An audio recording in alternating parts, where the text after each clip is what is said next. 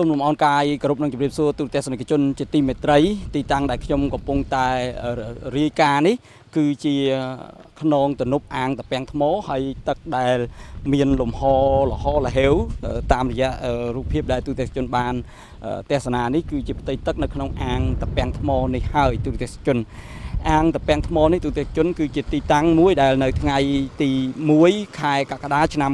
2022ដែលជាទិវាមច្ឆាជាតិនោះសម្ដេចនាយកហ៊ុនសែននាយករដ្ឋមន្ត្រីនៃព្រះរាជាណាចក្រកម្ពុជានឹងអញ្ជើញជាអធិបតីភាពដល់ពងខ្ពស់ដើម្បីប្រឡែងកូនត្រីហើយនឹងបង្កងសរុបទៅរហូតដល់ជាង1លានក្បាលហើយនោះនៅទីតាំងនេះដើម្បី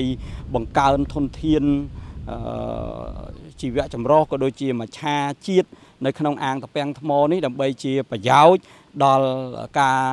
រស់នៅ ការទាញយកផលនេសាទអីផ្សេងផ្សេងរបស់ប្រជាពលរដ្ឋនៅជុំវិញនេះដើម្បីត្រួតត្រងទៅដល់ជីវភាពនិងការរស់នៅរបស់គាត់ទូរទស្សនិកជនមុននឹងការឆ្លៀតនៅពេលដែលចុះមកយកព័ត៌មាននៃដំណើរចុះមកអញ្ជើញជាអធិបតីភាពដើម្បីប្រឡែងកូនត្រីនៅថ្ងៃទី1ហ្នឹងនៅថ្ងៃទី30ខែមិថុនានេះខ្ញុំក៏បានមកដល់ហើយក៏បានជួបសភាជាមួយនឹងអាយដាមអភិបាលខេត្ត បន្ទាយមានជ័យអាយដាមអ៊ុំរិត្រី ដើម្បីបញ្ជាក់អំពីសាវតានិងសារៈប្រយោជន៍គុណតម្លៃមួយចំនួននៃអាងតពាំងថ្មនេះថា បានផ្ដល់ជាប្រយោជន៍អីយ៉ាងម៉េចខ្លះទៅដល់វិស័យកសិកម្មអីផ្សេងផ្សេងហើយនិយាយជារួមទៅ អាងតពាំងថ្មនេះមិនមែនទៅតែកកើតនៅក្នុង សម័យយើងនេះទេគឺថាមានស្លាកស្នាមគេហៅថាភាពឈឺចាប់ខ្លោចផ្សានឹងច្រើន ជាពិសេសគឺថានៅក្នុងរបបកម្ពុជាប្រជាធិបតេយ្យរបបខ្មែរក្រហម3ឆ្នាំ8ខែ20ថ្ងៃហ្នឹងឃើញថាក្រោមគោលនយោបាយក្នុងការអភិវឌ្ឍលើវិស័យកសិកម្មធ្វើស្រែរបស់ខ្មែរក្រហមគឺថាបានបង្ខំប្រជាពលរដ្ឋហ្នឹងគឺថាមកជីកធ្វើអាងតពាំងថ្មនេះជីកដីកន្លែងនេះពីមុនវាគ្រាន់តែជាវាលស្រែធម្មតាអញ្ចឹងទៅมันមានប្រភពទឹកអីដើម្បីអាចផ្គត់ផ្គង់ទៅដល់ការស្រោចស្រព កសិកម្មជាពិសេសធ្វើស្រែនឹងបានទេអញ្ចឹងគឺថាខ្មែរក្រហមបានបង្ខំប្រជាពលរដ្ឋខ្មែរយើងហ្នឹងឲ្យជីកដីនៅកន្លែងនេះដើម្បីលើកជាទៅជាខ្នងទំនប់ហើយបានជាទឹកអីដើម្បីទុកស្រោចស្រពលើវិស័យកសិកម្មការធ្វើស្រែហ្នឹងហើយឃើញទាំងការនោះក៏ធ្វើមិនទាន់ចប់ហ្នឹងរបបខ្មែរក្រហមក៏ត្រូវបានវាយផ្ដួលរំលំ បាទវាយផ្ដួលរំលំដោយកងកម្លាំងរណសេរីសាមគ្គីសង្គ្រោះជាតិ នៅពេលនោះហើយបើសិនជារបបនោះមិនត្រូវបានវាយផ្ដួលរំលំទេ យើងក៏មិនដឹងថាការធ្វើទំនប់តាពាំងថ្មនេះត្រូវចំណាយមនុស្សអស់ប្រមាណទៀតដែរជាពិសេសគឺថាមិនដឹងថាត្រូវមានមនុស្សម្នាក់ប្រមាណទេដែលនឹងត្រូវចោលឆ្អឹងចោលអីនៅទីនេះព្រោះថាពេលនោះធ្វើមិនទាន់ហើយនឹងផងមានប្រជាពលរដ្ឋគេថាតនន័យផ្សេងផ្សេងគ្នាអ្នកខ្លះអាចថាដល់ខ្ទង់លៀនអ្នកខ្លះថាដល់រាប់ម៉ឺនអ្នក ត្រូវបានស្លាប់ដោយសារតែការលើកទំនប់អាងតពាំងថ្មនេះទូទេសជន តែយើងឃើញថាមកដល់ពេលបច្ចុប្បន្នគឺថាវាពីអតីតកាលជាមរតកនៃការឈឺចាប់សោកនេតកម្មប៉ុន្តែមកដល់ពេលបច្ចុប្បន្នតំបន់នេះវាផ្សារភ្ជាប់នឹងប្រវត្តិសាស្ត្រនៃការឈឺចាប់ផងហើយឥឡូវនេះក៏បានប្រែក្លាយទៅជាគេថាកលែងផ្ដាល់នៅស្នាមញញឹមដល់ប្រជាពលរដ្ឋរបស់យើងផងដែរជាពិសេសគឺថាប្រជាកសិករតែម្ដងស្នាមញញឹមគឺថាគាត់អាចទាញយកទឹក ពីអាងតពាំងថ្មនេះដើម្បីយកទៅធ្វើស្រែ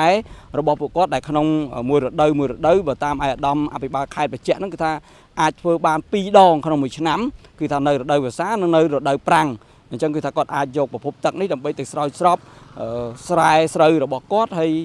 បានផលពីនឹងមកក៏គួរសមដែរអាចធ្វើឲ្យជីវភាពរបស់ប្រជាពលរដ្ឋដែលរស់នៅក្នុងស្រុកភ្នំស្រុកក៏ដូចជានៅតំបន់មួយចំនួនទៀតនៅស្រុកបណិតព្រះហ្នឹងគឺថាគាត់អាចទាញប្រយោជន៍អំពីនេះហើយពេលបច្ចុប្បន្នកន្លែងនេះវាមិនត្រឹមតែ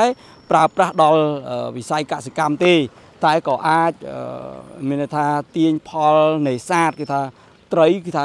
តាមមន្ត្រីបច្ចៈគឺថាមានច្រើនណាស់នៅកន្លែងនេះគឺថាអាចទាញផលត្រីអីអញ្ចឹងទៅនេសាទទៅលក់ដូរទៅអញ្ចឹងជួយត្រួតត្រងជីវភាពរបស់ប្រជាពលរដ្ឋយើងនៅតំបន់នេះបានផងដែរបន្ថែមពីលើនោះកន្លែងនេះក៏คล้ายទៅជាតំបន់ទេសចរមួយដែរព្រោះថាមានធាទឹកស្អាតចេះខែវស្សាខែអីគឺថាមានប្រជាពលរដ្ឋមកលេងកំសាន្តនៅទីនេះច្រើនហើយក្រៅតែពីគួយគុណធាទឹកដល់លវឹងល្វើយនៅទីនេះទៅអ្នកទេសចរក៏គាត់អាចធ្វើដំណើរទៅ ទស្សនាសត្វស្លាបសត្វអីពេលដែលខ្ញុំធ្វើដំណើរមកកន្លែងនេះគឺថាវាស្រែខៀវសង្ងាត់ហ្នឹងក៏ឃើញថាមានសត្វស្លាបច្រើនប្រភេទដែរនៅទីនេះតាមរបាយការណ៍ព័ត៌មានកន្លងមកគឺថាសត្វប្រភេទសត្វស្លាបហ្នឹងច្រើនប្រភេទណាស់នៅទីនេះជាពិសេសគឺថាសត្វគ្រាលក្បាលក្រហមហ្នឹងគឺថាមាននៅតំបន់ហ្នឹងអញ្ចឹងក៏វាទៅជាផលិតផលទេសចរមួយផងដែរសម្រាប់បងប្អូនប្រជាពលរដ្ឋយើងដែលគាត់មកលេងកម្សាន្តនៅទីហ្នឹងអញ្ចឹងក៏ខ្លាយទៅជាតាក់ទាញលើវិស័យទេសចរហ្នឹងហើយវិស័យទេសចរក៏បានរួមចំណែកមួយបន្ថែមទៀតដល់ការ លើកកម្ពស់ជីវភាពរបស់ប្រជាពលរដ្ឋតាមរយៈការគាត់ផ្ដល់សេវាទេសចរមានការលក់ដូរម្ហូបអាហារអីជាដើមហើយឯអាដាមអភិបាលខេត្តក៏បានគូបញ្ជាក់អំពីគម្រោងក្នុងការប្រែក្លាយតំបន់កន្លែងនេះឲ្យក្លាយទៅជាតំបន់ទេសចរដ៏ទាក់ទាញនាពេលអនាគតថែមទៀតតាមរយៈការដាំព្រៃឈើដាំអីជាដើមនៅជុំវិញអាងតពាំងថ្មនេះទូទឹកជន ដើម្បីជ្រាបច្បាស់ខ្ញុំបាទសូមគោរពអញ្ជើញទូទាំងជនទៅស្ដាប់នៅទេសនានិងស្ដាប់នៅការបញ្ជាក់របស់អាយដាមអភិបាលខេត្តជុំវិញគម្រោងអភិវឌ្ឍក៏ដូចជាដំណើរការនៃការកសាងអភិវឌ្ឍអាងតាពាំងថ្មនេះបន្តិចបាទ បាទជម្រាបសួរអាដាមអញ្ចឹងមានន័យថានៅថ្ងៃស្អែកគឺថ្ងៃទី1ខែកក្កដាឆ្នាំ2022សម្ដេចតេជោហ៊ុនសែននាយករដ្ឋមន្ត្រីនៃព្រះរាជាណាចក្រកម្ពុជានឹងអញ្ជើញជាអធិបតីភាពដ៏ខ្ពង់ខ្ពស់ក្នុងទិវាមច្ឆជាតិដើម្បីមកបលែងកូនត្រី នៅអាងតាពាំងថ្មដែលស្ថិតនៅក្នុងខេត្តបន្ទាយមានជ័យនេះ ខ្ញុំជាដំបូងនឹងចង់ឲ្យអាដាមជួយបញ្ជាក់ថាកម្មវិធីទាំងអស់យើងបានរៀបចំរួចរាល់តាមផែនការដែលបានគ្រោងទុកហើយឬយ៉ាងម៉េចដែរអាដាមបាទបាទអរគុណបាទជម្រាបសួរសម្ដេចអាដាមទ្រង់លោកអាដាមលោកជំទាវលោកស្រីជាប្របងប្អូនជាប្រដ្ឋទាំងអស់ទូទាំងប្រទេសក៏ដូចជាជាប្រដ្ឋក្នុងខេត្តទីមន្ជ័យជាកិត្តិយសណាស់ដែលខេត្តបន្ទាយមានជ័យយើងបាន ការអញ្ជើញជាអធិបតីដ៏ពងពោះពីសំណាក់សម្ដេចតេជោនាយករដ្ឋមន្ត្រីប្រមុខរាជរដ្ឋាភិបាលកម្ពុជាអញ្ជើញជាអធិបតីក្នុងទិវាមច្ឆជាតិថ្ងៃ1កក្កដា2022ដែលនឹងត្រូវថ្ងៃស្អែកតែម្ដងលោកអញ្ជើញផ្ទាល់តែម្ដងហើយជាក់ស្ដែងគិតមកដល់ពេលនេះ ទាំងថ្នាក់ជាតិជាមួយថ្នាក់ក្រមជាតិជាពិសេសរួមជាមួយរដ្ឋបាលខេត្តបន្ទាយមានជ័យរដ្ឋបាលជលផលក៏ដូចជាអ្នកពាក់ព័ន្ធទាំងអស់បានរៀបចំត្រៀមលក្ខណៈសម្រាប់ទិវាមច្ឆជាតិនោះគឺបានរួចរាល់អស់ហើយទាំងការងារសន្តិសុខសម្រាប់ធ្នាប់គឺការរៀបចំពិធីក៏ដូចគ្នាបានយើងរៀបចំរួចហើយនៅតែស្អែកយើងនៅចាប់តាមដំណើរការនៃពិធីទិវាមច្ឆជាតិក្រមអធិបតីភាពដកពងពោះរបស់សម្ដេចតេជោតែម្ដងបាទប្រជាពលរដ្ឋប្រហែលជាប្រមាណអ្នកដែរនឹងចូលរួមក្នុងពិធីនាថ្ងៃស្អែកនេះហើយ ទាំងអាដាមជាអាវ៉ាខេតហើយក៏ដូចជាបងប្អូនប្រជាពលរដ្ឋដែលនឹងអញ្ជើញចូលរួមហ្នឹងយ៉ាងម៉េចដែរទឹកចិត្តសប្បាយរីករាយអីយ៉ាងម៉េចនៅពេលដែលមានវត្តមានរបស់សម្ដេចតេជោបានវិលមកកាន់ ទឹកដីខេត្តបន្ទាយមានជ័យជាថ្មីជារឿយរឿយពីអតីតកាលឃើញថាសម្ដេចក៏បានមកកាន់ខេត្តនេះច្រើនទាំងពីដំណាក់កាលដែលនៅញោមញីដោយភ្លើងសង្គ្រាមគឺថាជាទឹកដីមួយដែលសម្ដេចតែងតែបានយកចិត្តទុកដាក់ខ្ពស់ដែរអញ្ចឹងក្នុងនាមជាអបាខេត្តនិងប្រជាពលរដ្ឋទឹកចិត្តគាត់យ៉ាងម៉េចដែរចំពោះវត្តមានរបស់សម្ដេចតេជោនាយកបាទសូមអរគុណពាក់ព័ន្ធរឿងខេត្តបន្ទាយមានជ័យចង់ជម្រាបជូនថាមិនទៅតែលើកនេះទេដោយសារខេត្តបន្ទាយមានជ័យពីមុនមកគឺជាខេត្តដែលជួមុខ នៅនឹងសង្គ្រាម ហើយជាខេត្តដែលសម្ដេចតេជោបានដាក់ចេញនៅនយោបាយឈ្នះឈ្នះចុងក្រោយនៅឆ្នាំ1998នេះអញ្ចឹងសម្ដេចលោកយកជុតរៈមែនតើដែលមកលោកយក បានន័យថាលោកមកផ្ទាល់ខ្លួនឯងដើម្បីដឹកនាំបញ្ជា ក្នុងការប្រយុទ្ធចាំងជាមួយពួកកាលនោះនៅមានខាងភាគីផ្សេងផ្សេងដែលរួមជាមួយគ្នាប៉ុន្តែឥឡូវនេះក្រមនយោបាយឆ្នេះឆ្នេះលោកបានបានបង្រួមគ្នាបាទបង្រួមគ្នាទាំងអស់គឺគ្រប់ភាគីបានន័យថាប្រើចេញពីនយោបាយឆ្នេះឆ្នេះយើងមិនមានភាគីណាទេតែមានតែរាជារាជាណាចក្រកម្ពុជាតែមួយដែលមានសម្ដេចតេជោជានាយករដ្ឋមន្ត្រីបាទហើយសម្រាប់លើកនេះទៀតចង់ជម្រាបជូនថា ខ្ញុំសង្កេតមើលគឺក្រោយបោះឆ្នោតពាក់ព័ន្ធក្រោយបោះឆ្នោតគឺសម្ដេចតេជោតែងតែយកទៅដាក់គឺអញ្ជើញជាអធិបតីកម្មវិធីនៅក្នុងខេត្តទីមជ័យដោយពីការបោះឆ្នោតពី2018ដូចគ្នាចប់ភ្លាមលោកអញ្ជើញជាអធិបតីក្នុងតវិភាពក្នុងកម្មវិធីសម្ពោធផ្លូវជាលេខ58ឥឡូវនេះក្រោយបោះឆ្នោតជ្រើសរើសក្រុមប្រឹក្សាគុំសង្កាត់ដែលអឺ ទៅនឹងបញ្ចប់កាលពីថ្ងៃទី5កន្លងមកថ្មីថ្មីនេះសម្ដេចតេជោអញ្ជើញជាអធិបតីក្នុងទិវាមច្ឆជាតិទៀតបាទហើយដែលគណៈបព្វជិជនបានឈ្នះដោយភ្លុកទឹកភ្លុកដីក្នុងការបោះឆ្នោតជ្រើសក្រុមប្រឹក្សាគុំសង្កាត់និយាយរួមទាំងមន្ត្រីរាជការថ្នាក់នាំជាពិសេសបងប្អូនប្រជាពលរដ្ឋក្នុងខេត្តបន្ទាយមានជ័យពិតជាសាទរមែនទែនដែលសម្ដេចលោកអញ្ជើញជាអធិបតីក្នុងទឹកដីខេត្តបន្ទាយមានជ័យដើម្បីរៀបចំចូលរួមក្នុងទិវាមច្ឆជាតិដែលមិនដែលពីមុនមកមិនដែលឃើញលើកសម្ដេចអញ្ជើញជាអធិបតីកម្មវិធីនេះទេតែលើកនេះគឺនៅក្នុងភូមិតពាំងថ្មឃុំប៉ោចានៃស្រុកភ្នំស្រុកដែលជាអាងតពាំងថ្មមួយ មានធាតុទឹកល្អហើយមានសម្ព័ន្ធភាពល្អដែលយើងបានធ្វើការជ្រើសរើសសម្រាប់រៀបចំទិវាមច្ឆជាតិសម្រាប់ឆ្នាំ2022នេះបាទបាទអឺដោយសារតែសម្ដេចលោកនឹងអញ្ជើញមកបលែងត្រីហ្នឹងរហូតដល់ជាង1លានក្បាលឯផងនៅថ្ងៃស្អែកនៅទីតាំងតាពាំងថ្មនេះហើយទីតាំងតាពាំងថ្មនេះវាផ្សារភ្ជាប់ជាមួយនឹងប្រវត្តិសាស្ត្រច្រើនហើយពីអតីតកាលហ្នឹងក៏វាជាពិសេសនៅក្នុងរបបកម្ពុជាប្រជាធិបតេយ្យអីហ្នឹងក៏ជាស្លាកស្នាមឈាមនិងទឹកភ្នែកកន្លែងនេះក៏ជារណ្ដៅកប់សាកសពប្រជាពលរដ្ឋខ្មែរយើងច្រើនដែរដែលរបបបល័យពុយសាសបានយកមកពួកគាត់នឹងដើម្បីលើកទំនប់លើកអីនៅកន្លែងនេះមានន័យថាបង្ខំធ្វើការយ៉ាងទិរុនបំផុតតែមកដល់ក្នុងសម័យសុខសន្តិភាពយើងឃើញថាតំបន់នេះក៏បានប្រែក្លាយទៅជាប្រយោជន៍មួយសម្រាប់ប្រជាកសិករដោយបានជីកលើកទំនប់អីបន្ថែមតែមិនមែនទំនប់ធ្វើទាំងទរុនដោយកាលសម័យខ្មែរក្រហមនោះទេហើយឥឡូវកំពុងតែទាញយកទឹកនេះយកទៅបម្រើវិស័យកសិកម្មនឹងបានធំមែនតើអញ្ចឹងខ្ញុំខ្ញុំចង់ឲ្យអាដាមជួយរំលឹកបន្តិចអំពីដំណើរដើមតងពីប្រវត្តិនៃការកសាងអាងតពាំងថ្មនេះថាតើវាចាប់ផ្ដើមកកើតមកនឹងយ៉ាងម៉េចហើយពីមុនស្ថានភាពនៅកន្លែងនេះវាយ៉ាងម៉េចដែរអាដាមបាទចង់ជម្រាបជូនថានៅអាងតពាំងថ្មនេះមានប្រវត្តិជូរចត់ណាស់ ចង់បញ្ជាក់ជូនថាពីសម័យ3ឆ្នាំ8ខែ8ខែក្នុងរបបកម្ពុជាប្រជាធិបតេយ្យគឺបានប្រមូលគៀងគោបងប្អូនជាប្រវត្តិ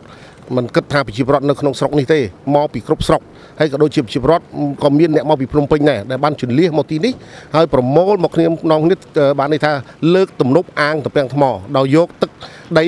ដីក្នុងអាងតំពាំងថ្មនោះក៏នោះអត់មានទឹកគឺយើងជីកយកដីនោះមកធ្វើទំនប់អាងតំពាំងថ្មចង់និយាយជូនថាបងប្អូនខ្មែរយើងដែលបានមកដោយការធ្វើការងារដោយបង្ខំនៅក្នុងសម័យកម្ពុជាប្រជាធិបតេយ្យនោះគឺ បានស្លាប់យ៉ាងច្រើនបាទ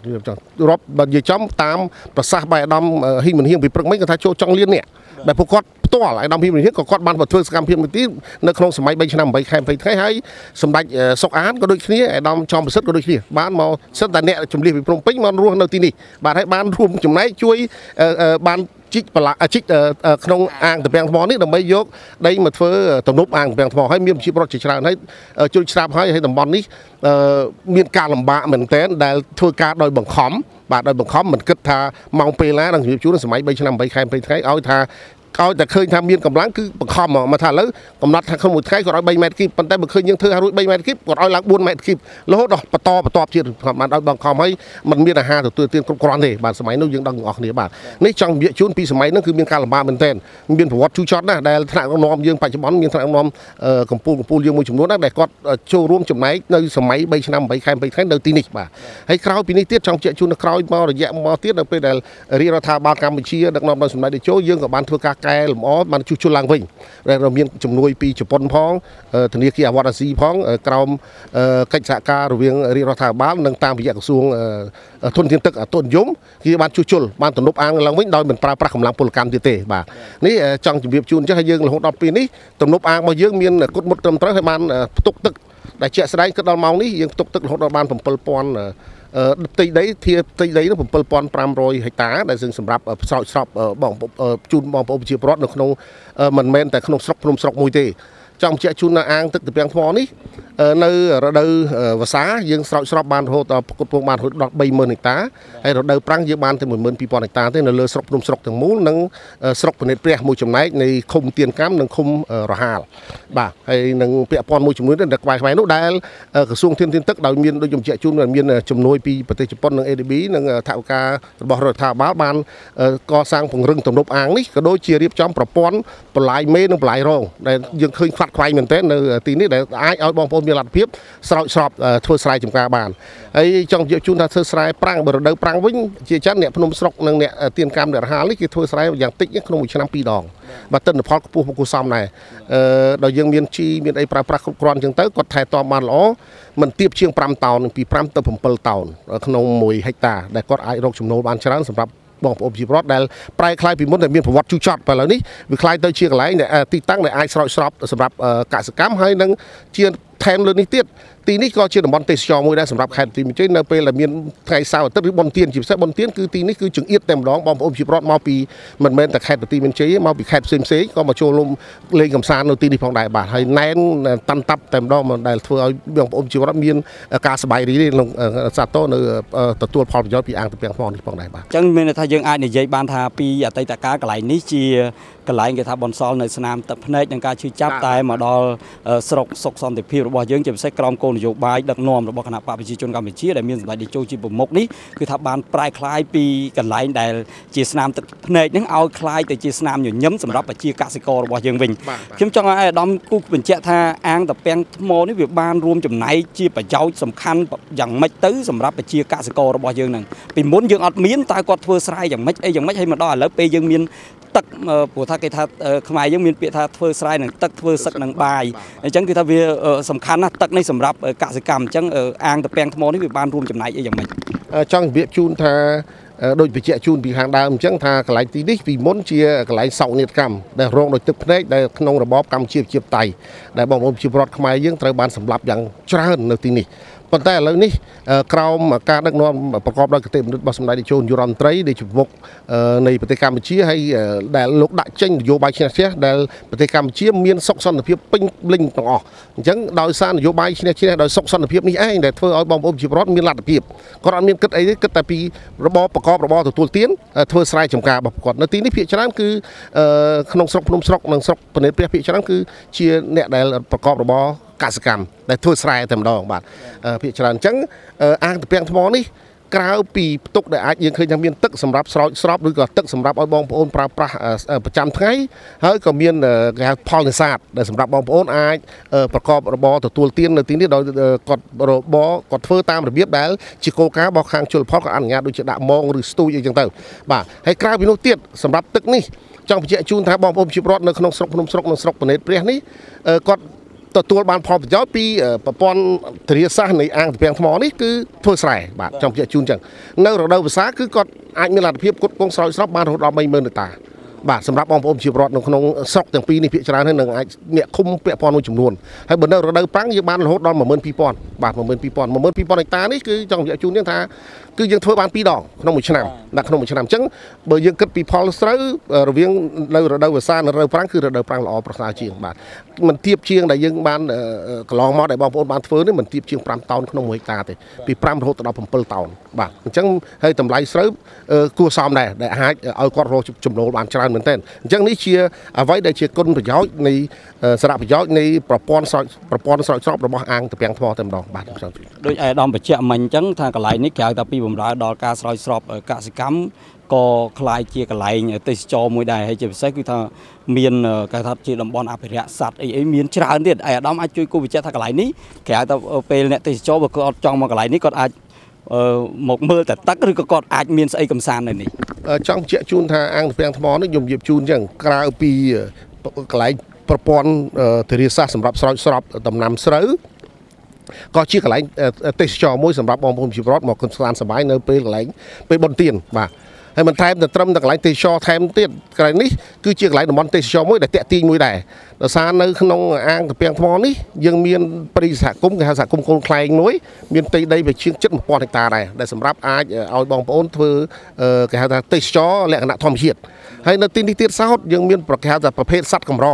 ជាពិសេសគឺសត្វក្រៀលដែលសត្វក្រៀលគ្នាមួយឆ្នាំគាត់មកម្ដង គាត់ហើចេញមកមកគាត់ហើពីកន្លែងណាមកពីដូចកន្លងមកដូចដូចខេត្តនៅប្រទេសវៀតណាមឬនៅប្រទេសណាក៏មកនៅទីទីម្ដងអញ្ចឹងបងប្អូនកន្លងមកមានភ្ញៀវតែជាពិសេសគឺភ្ញៀវទេសចរបរទេសគាត់ចូលចិត្តណា គាត់ជិះទូកទៅមើលបានទៅទៅឃ្លាំមើលសត្វក្រៀលនិងសត្វកម្រផ្សេងទៀតដែលនៅនៅក្នុងព្រៃសហគមន៍ដែលគាត់ដែលបងដែលពួកសត្វទាំងនោះពេលដែលគាត់ពួកគាត់ត្រូវការទឹកក៏មកលេងលេងទឹកនៅនឹងអាងវាំងថ្មហើយនឹងមកមកផឹកទឹកនៅទីនោះអញ្ចឹងមានសត្វព្រាលច្រើនសត្វព្រៃច្រើនមុខណាស់ដែលដែលចង់បញ្ជាក់ជូនថាមានបងប្អូនយើងដែលជាអ្នកទេសចរគាត់ជិះទូកទៅទៅលេងទៅមើលនៅទីនោះបាទហើយក្រៅពីនោះមានបងប្អូនយើងមកលេងកម្សាន្តនៅទីនេះតែម្ដងបាទនេះហើយឥឡូវដែលជាក់ស្ដែងឥឡូវនេះក្រសួងបរិស្ថានបានកំពុងតែអភិរក្សទីតាំងហ្នឹងมันអនុញ្ញាតឲ្យធ្វើអីកំពុងអភិរក្សដើម្បីធ្វើម៉េចរក្សាឲ្យបានសត្វព្រៃសត្វកម្រនឹងជាច្រើនឲ្យនៅទីនោះដើម្បីទុកជាកន្លែងបង្កើនគេហៅថាសេវាទេសចរឲ្យបានកាន់តែច្រើនដែរហើយគាត់ជាក់ស្ដែងគាត់កំពុងធ្វើពណ៌មួយជាក់ស្ដែងសម្រាប់ឲ្យបងប្អូនមើលទៅឃើញ បាទមើលទៅឃើញនៅជាក់ស្ដែងនៅតំបន់ឆ្ងាយហ្នឹងហើយយើងខ្ញុំកំពុងតែសំណូមពរគាត់ឲ្យដាក់នៅចំចុងខ្នោះអាងប៉មនៅមួយទៀតដើម្បីងាយស្រួលបងប្អូនជិះទូកទៅទៅមើលប្រភេទប្រភេទសត្វកម្រផងដែរបាទនេះចង់ជែកជូនបាទចឹងនេះជាផែនការមួយដើម្បីរួមចំណែកតាក់ទាញលើវិស័យទេសចរបន្ថែមទៀតនៅតំបន់នេះបាទបាទបាទអញ្ចឹងទៅថ្ងៃមុខក្រៅពីហ្នឹងយើងចង់ធ្វើអីទៀតដើម្បីជាការតាក់ទាញអីនៅតំបន់នេះខ្ញុំចង់បញ្ជាក់ជូននៅក្រៅពីនេះនៅកន្លែងនេះគឺយើងអាចមានរៀបចំកន្លែងដូចជាកន្លែងកំសាន្តផ្សេងផ្សេងទៀតដូចជាកន្លែង resort អីផ្សេងផ្សេងទៀតដែលសម្រាប់ឲ្យតាក់ទាញបងប្អូនអាចមកស្នាក់នៅកំសាន្តសប្បាយនៅទីនេះជាពិសេសគឺដូចខ្ញុំបញ្ជាក់ជូននោះគឺ ទេសចរធម្មជាតិតែម្ដងដែលមានព្រៃដែលយើងកំពុងថារៀបចំធ្វើម៉េចឲ្យព្រៃសហគមន៍ទៅមានប្រភេទដើមឈើមិនដែលអាចឲ្យបងប្អូនយើងទៅលេងនិងសត្វកម្រផ្សេងផ្សេងទៀតដែលមានច្រើនប្រភេទណាបាទតាមការបញ្ជាក់របស់ខាងមន្ត្រីបរិស្ថានក៏ដូចជាមន្ត្រីរដ្ឋបាលជលព្រៃឈើផងដែរបាទខ្ញុំព្រៃឈើនេះយើងក្រងរៀបចំដាំនៅបរិវេណជុំវិញធាទឹកហ្នឹងឬក៏យ៉ាងម៉េចដែរអឺ